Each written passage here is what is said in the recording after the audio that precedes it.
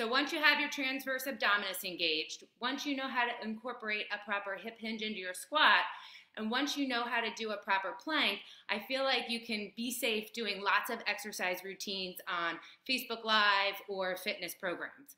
So if you have a five to 10 pound dumbbell, grab it. Uh, we're gonna try to incorporate it into our routine. So we're gonna start today with a little bit of a moving warm up, not like our first day, but we're gonna drop into our squat and go back up on our toes.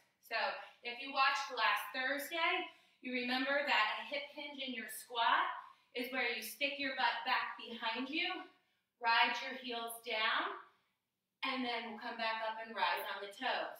Knees stay straight, aligned over the toes as you lower down and up. Now, you might say, Kathy, why are we rising up on our toes? Well, when you rise up on your toes, what I want you to do is you're going to engage your core, squeeze your glutes, and rise up on the toes so that it's just another way to incorporate that core into exercise. As we start progressing later this week, and probably let's face it, into next week, um, we're going to start to incorporate more dynamic movements and maybe even some plyometrics. So it's important to keep that core active as you lower, but also as you lift. We'll go here another 20 seconds. I might have kept that clock in the upper corner just to keep me honest but I can't actually see it in the screen. All right. So now we're going to go back down onto the floor on our tabletop position. We're going to loosen up our spine by going through what we call the angry cat and camel. So remember, knees under hips, wrists under shoulders. We're going to look at our thighs, tuck our butt, round out our back, get a two second stretch, and then we're going to look up, tilt our tailbone up in the air, let our belly drop towards the floor. We're going to oscillate between these two positions for about 10 repetitions, holding each one for about two seconds. So if you guys can bear with me and hang out and join along for I guess I'm on again on Thursday, I promise I'll make it a little bit harder and a little more challenging. It's just the physical therapist in me. I can't have people exercise without knowing if they're in the right form. All right, we're going to do about two more here. And then we're going to go into our side twisting stretch. Favorite stretch of all time. I'll probably do it every session. Okay, so go ahead onto your side. All right, you're going to pull that top leg up towards your chest. Take your bottom hand to hold your knee down. Move your bottom leg straight with your body. Place your top hand on your rib cage. You're going to relax your head. Inhale. On the exhale, you're going to rotate your top shoulder back, getting a nice twist in your spine. The head just goes along for the ride. Okay, you don't want to strain your neck. If you have pain here, back off the stretch. The stretch is only as much as you can tolerate and take yourself. Take another inhale for me. As you exhale, I want you to think of lowering that shoulder and stretching a little bit deeper into your rotation. We're going to hold this stretch for about a minute relaxing into the stretch. On Thursday, I'll show you how to make this one a little bit harder for the flexible type. Good, one more inhale. Exhale and let the shoulder relax. Now let's do that active movement where we move into our new rotation. So we're gonna put our hands out like out, an alligator mouth. We're gonna reach that top hand past your fingertips and then you're going to pull your elbow back and rotate into your new range of motion.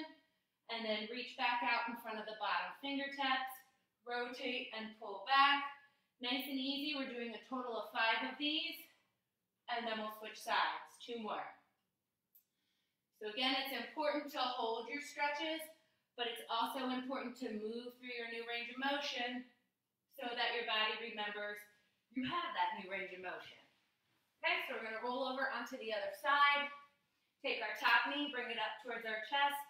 Hold the knee down with our bottom hand. Bottom leg straight with our body. Top hand on our rib cage. Inhale. Exhale and rotate that top shoulder back. Good. We're going to hold here for a minute, breathing into the stretch. So we're going to inhale. Exhale, let that top shoulder fall. Keep breathing. tell a funny story today. So the kids are doing their online schooling on like a Blackboard platform. Yeah, the platform shut down from overuse. Trials and tribulations. We're gonna inhale again. Exhale and let that top shoulder rotate back. And we'll hold 10 more seconds. Make sure you're breathing and not straining. And this top knee stays down. Don't let that knee come up as you rotate your shoulder back. Good, come out of your rotation. Hands out in front like an alligator mouth. We're gonna reach beyond the bottom fingers. Pull the elbow back into our rotation. Reach forward again. Pull the elbow back. Three more. And one more. I think. Or two. Told you, not a great counter. I skipped that part in school. All right, so now we're gonna roll onto our back. We're gonna do our two belly exercises, but with a progression today. Um, and these are the exercises that we're gonna start to get rid of probably next session and into next week. If you have your weight, grab it close by. So we've been tightening our lower belly and we've been either alternatingly march, marching or lifting the legs up. If you guys can stick with me, anybody who's been marching, I want you to try the both legs up position today. All right? So if you have your dumbbell, we're going to press the arm up. I know I have some new followers on here today.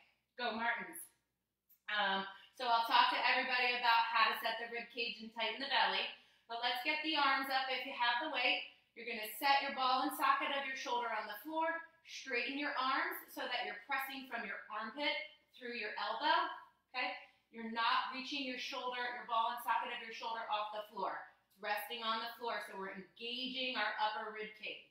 All right, in this position, you're gonna inhale, you're gonna exhale, let your ribs fall to the floor on the exhale, then pull your belly button down towards the floor to engage your lower belly. Once your belly is on, I want everybody to lift one leg up in the air, so you're bent 90 at the hip, 90 at the knee. Lift the other leg up in the air, so you're 90 at the hip, 90 at the knee. Don't let your back arch from the floor as you lift your legs. So again, one more time, we're gonna inhale. Exhale, let the ribs fall to the floor. Pull the belly button down to tighten your lower abs. March one leg up, brace, march the other leg up. Nothing should move in your back.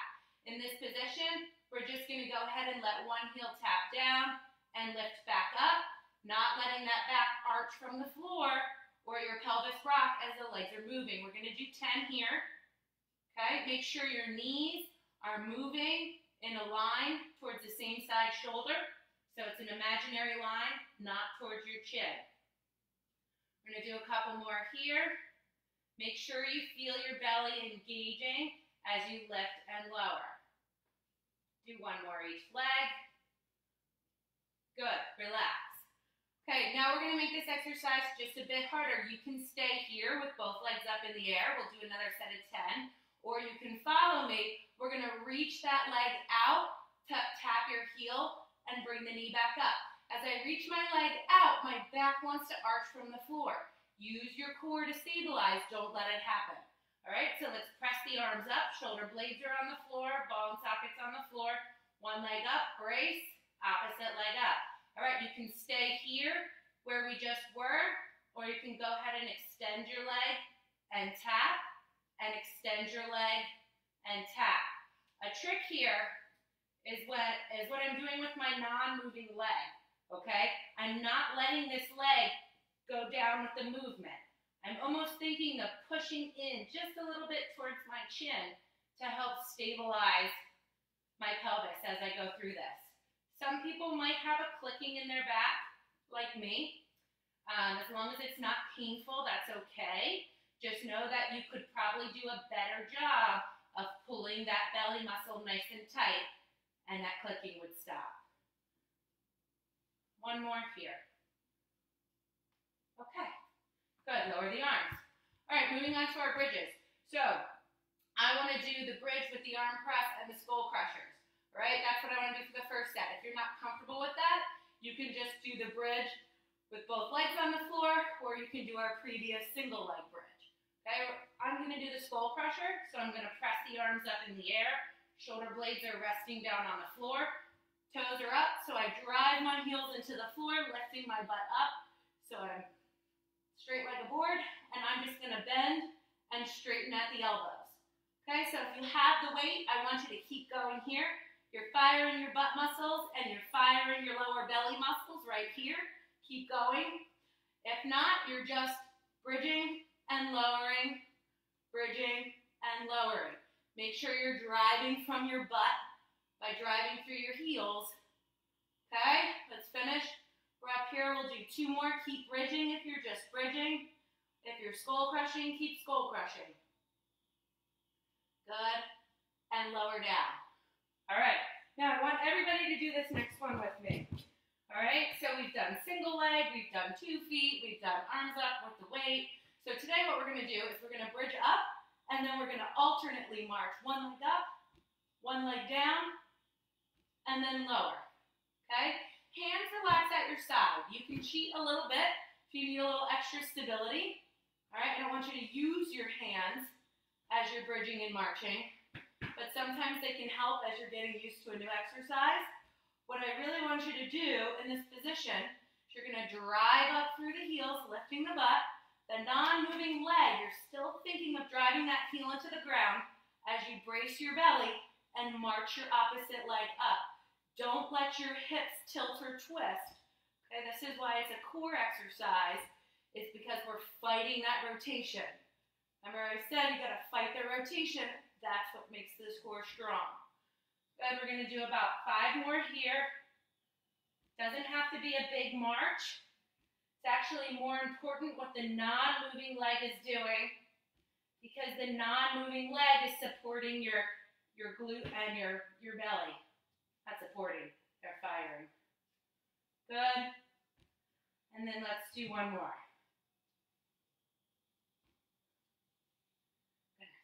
I'm out of breath today. All right, so before we do our plank, I want to do one other exercise um, and then we'll talk about the tip of the day.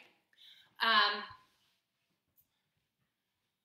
so we were doing our quadruped diagonals the other day. So that's where we get in our tabletop position. Okay, we reach one foot back, we reach the opposite arm. Come back in, we kick one foot back, we reach the opposite arm. Notice I'm not tilting or twisting. We can also progress this exercise into what we call same side. So I get on my hands and my knees and I shift over to one side. So my shoulder and my hip are all to one side. I'm gonna kick a foot back, brace my belly, find my armpit, and reach the same side arm, okay? And come back. It's a lot harder of an exercise. You're holding here. You don't wanna let the pelvis or body rotate. Again, we're fighting that rotational force. Okay, so you can practice trying to do the same side reach, or you can keep doing the diagonals, switching each side. So if we're doing the same side, we're gonna go to one side, come back in, switch over, reach out. Trying to stay out of my neck and feel the push coming from my armpit through the heel of my hand, elbow straight. Okay, so the tip of the day is planking. Planking is incorporated into any type of fitness routine. However, most people do them incorrectly. Before we go over planking, I'm going to talk about two tricks of the trade to kind of ease your body or make it a more achievable exercise for yourself. So if you're working on the floor and you tend to get wrist pain from your wrist being bent so much, you can take your mat or towel, whatever you're on, and roll it up a little bit I'm going to put the heel of my hand on the mat and my fingers kind of move towards the floor. So when I'm in this position, I take that deep bend out of my wrist and I put it more into an open angle here. Kids are learning about angles in third grade, FYI. All right, so this is a good trick to help decrease some of the strain on your wrist. The other trick is if you have a hard time planking on the floor, all right, you can, I push this stool up against the wall just for camera purposes, but you can use a countertop in your kitchen, a long dresser, but if you come into a plank on a raised surface, all right, you're still working the same muscles, you're just taking gravity, you're not making it as challenging, All right, so we're gonna stay on the floor today, but if you want, you can go ahead and you can position yourself so you're doing it on a countertop or a raised surface just to make it a little bit easier. so the trick with planking, as we talked about with the tabletop position, is let's start here, okay? Bring your shoulder blades in towards your spine and then push from your armpit through the heel of your hand. All right, when you're planking, you don't want to have a rounded middle back and you don't want to scrunch your upper trap or overactivate your pec or chest muscles. So again, instead of being here, I'm going to find a nice neutral low back, move my shoulder blades in towards my spine, and then push from the armpit down through the heel of my hand, okay? Once I'm in this position, I'm gonna step my foot back and tuck my toe, so I'm in like a half plank. Here, I'm gonna say, Kathy, my armpits are on into the heel of my hands, my belly's nice and tight. I'm gonna step my opposite foot back. Notice nothing moved from my hips to my shoulder. Okay, that's the important part. That's why we start here in the tabletop position. So back to your tabletop. Move your shoulder blades in towards your spine. Push from your armpits through the heel of your hands. I want you to step one foot back. Brace your belly, feel your armpits, step your other foot back. Okay, a lot of times people will shift forward. Don't shift forward, or they'll stick their butt up in the air. Don't do that either. Okay, so we're in.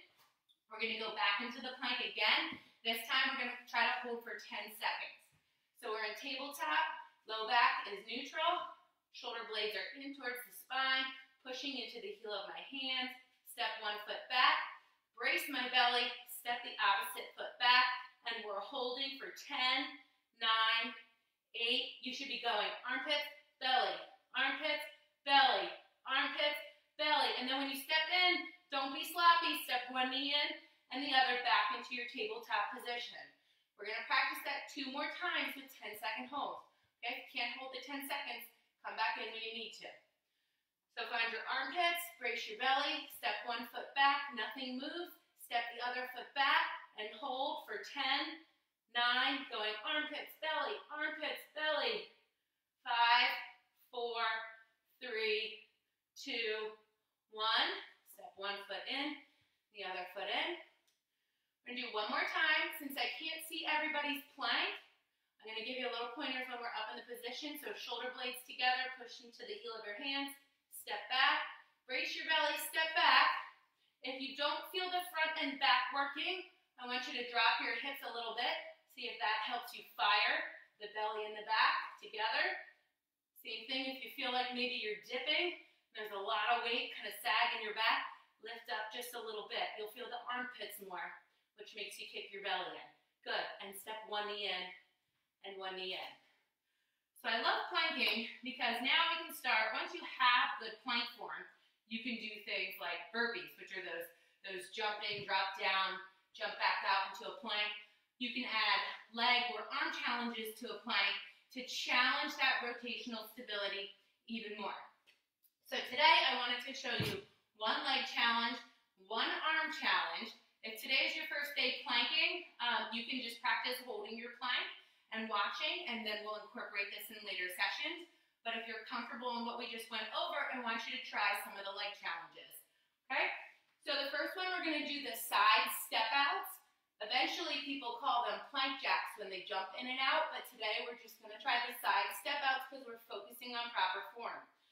So tabletop, Find your armpits, step back, brace your belly, step back.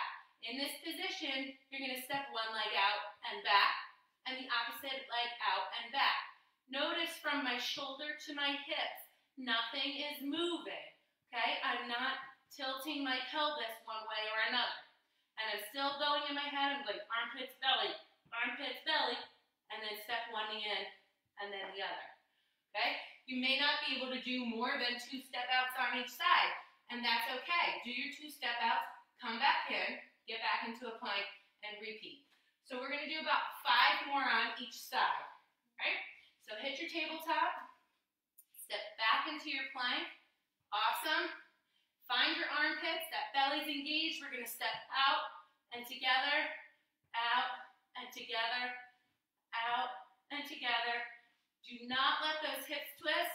Sometimes I tell people, imagine you have a full glass of water balancing on your tailbone. Don't let it spill or somebody's gonna think that you peed your pants. Good, one more on the other side. I'm literally breaking the sweat today.